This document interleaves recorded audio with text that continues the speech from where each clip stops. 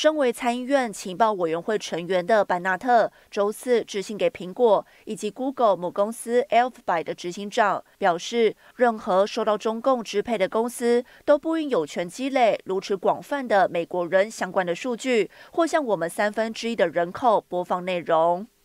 班纳特说明，TikTok 与其他社交软体不同，其中国母公司字节跳动受到中共法律规范，需要将内部数据交给政府以协助情报工作。TikTok 也向欧洲用户披露，他们的数据可能会被在中国母公司的员工浏览。